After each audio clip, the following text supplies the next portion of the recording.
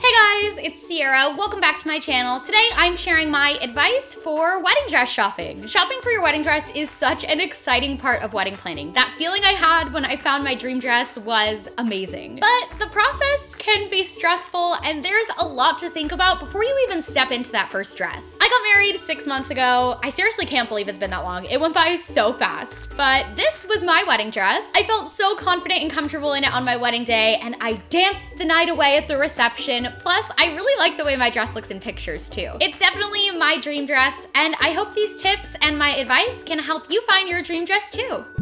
Start shopping for your dress early. It can take up to eight or 10 months if you're getting a custom dress and you don't wanna cut it close. If you have a short engagement, start looking for your dress right away. And if you have a longer engagement, make sure that you don't put it off too long. When you're wedding planning, time can get away from you so fast. There's so much to do, so make sure that you make shopping for your wedding dress a priority. I had about a year and a half engagement and I started shopping for my dress at about the one year mark and I got it just about a month before my wedding. So I'm really glad I started early. Also, if you're trying to lose weight for your wedding, don't put off dress shopping just because you wanna look slimmer before you start trying on dresses. You can always get your dress taken in if you lose weight, and it's better to just start shopping as you are.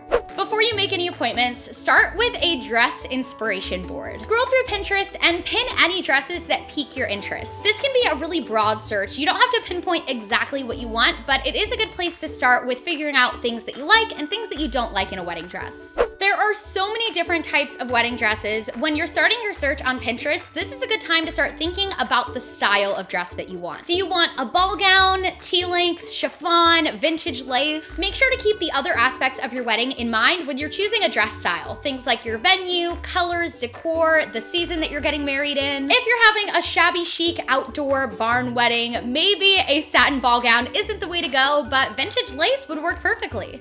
In addition to the style of your dress, start thinking about shapes. What dress shapes do you feel confident and comfortable in? What flatters your figure? Mermaid, A-line, trumpet, ball gown. I've always been a fan of fit and flare dresses. I think they're flattering on my curvy figure, so going into dress shopping, I was pretty certain that I wanted an A-line dress. Something fitted on top that would flatter my chest, but wasn't too revealing, and then flare out at my waist to accentuate that hourglass figure. Once you know what dress shapes you like, it really narrows down your options and makes the search a lot easier. Once you've got a general idea of what you want, make a dress shopping appointment. And once you've chosen the bridal salon, see if they have an online catalog that you can browse and pick some specific styles that you wanna try on when you go shopping. If you have specific dresses in mind that you already know that store has in stock, it's a really good place to start when you go into your appointment. Before you start trying on dresses, make sure that you set a price and communicate that price to your consultant at the bridal shop. It would be heartbreaking to fall in love with that perfect dress, have that say yes moment, and then realize that it's way out of budget. And don't try on any dresses that are over that budget. Don't put on a dress that you wouldn't be willing to pay that price tag for because only bad can come from that.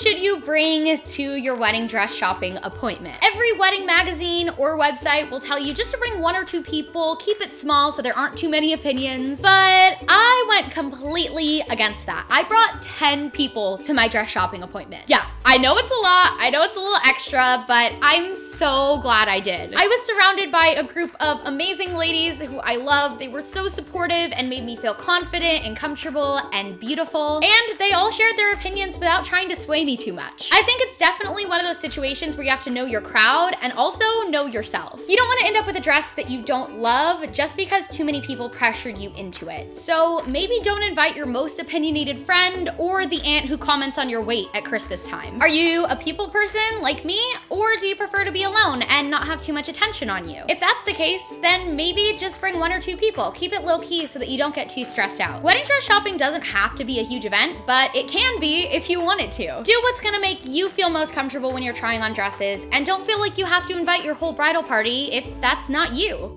The day of your wedding dress shopping appointment, do some primping. Spend a little extra time on your hair and makeup. On your wedding day, you're probably gonna be all dolled up, so it'll help give you that like full vision when you're trying on dresses. Plus, I don't know about you, but when I feel hot, when I'm looking good, I feel so much more confident, and confidence makes dress shopping so much easier.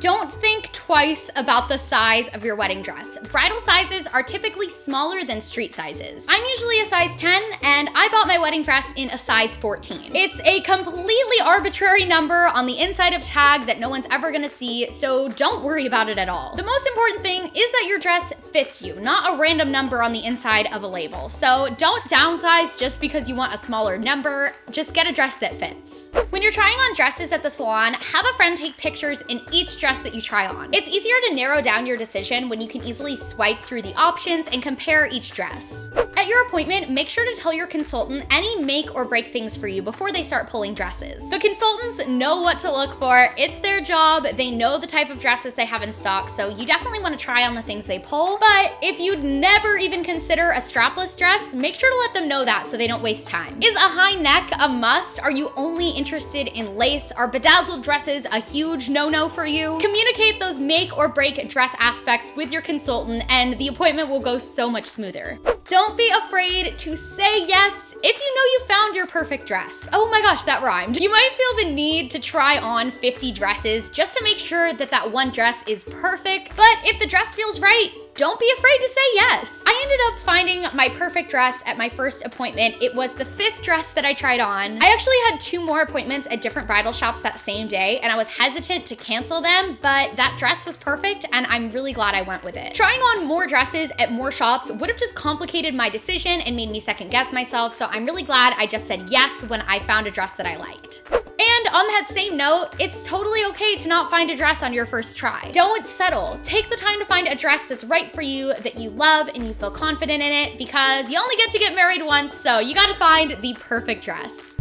The day I went wedding dress shopping, I actually vlogged the whole process, so if you wanna check that out, you can click that card right up there or the link in the description. Also, I'll have my whole wedding planning series and my actual wedding day video linked in the description. Thanks for watching. I hope these tips help you to find your dream dress, and I will see you on Friday. Bye!